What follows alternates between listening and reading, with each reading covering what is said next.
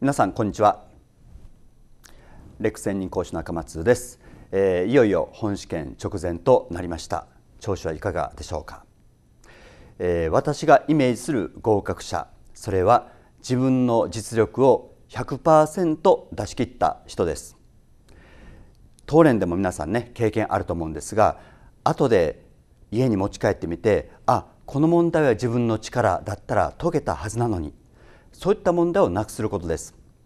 本試験では、えー、全勢力を集中してそして自分の力で解けるはずの問題それをしっかりと解き切ってください。100%力を発揮してきてください。決してね難しい問題ができるえできた人が合格者ではありません。